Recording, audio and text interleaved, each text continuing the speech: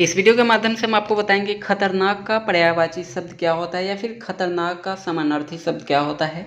Video को पूरा देखिएगा तभी आपको अच्छे से क्लियर हो पाएगा। तो आई होप आप देख सकते हो, खतरनाक का पर्यायवाची शब्द होता है संकटजनक, भयावह, जोखिम का डरावना, खौफनाक, भयानक, आशंकाप्रद, इस सभी को हम बोलते हैं खतरनाक का पर्यायवाची शब्द। कमेंट सेक्शन में आपको बताना है खतरनाक का विलोम शब्द क्या होता है, यानी कि खतरनाक का अपोजिट वर्ड क्या होता है।